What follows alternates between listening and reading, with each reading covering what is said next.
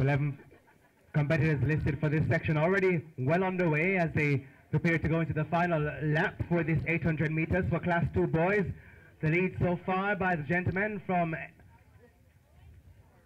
it appears to be Edwin Allen, that's Pine.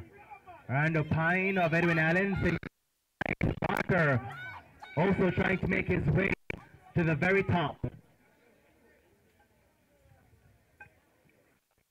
Robinson of Kingston College showing some work as well.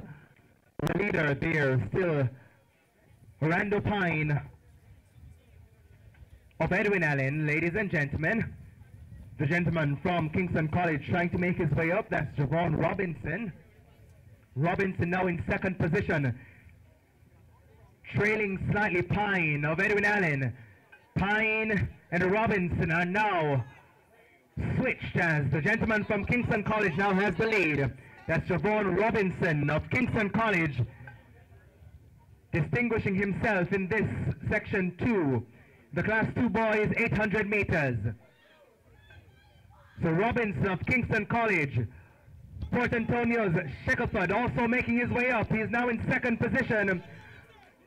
But the gentleman from North Street, Jevonne Robinson of Kingston College, he will take section 2 ahead of Kaleel Shackleford, who did quite a distinguished run to come through for second.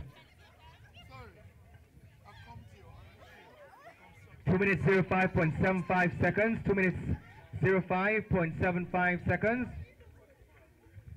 The unofficial time there for Jevonne Robinson of Kingston College.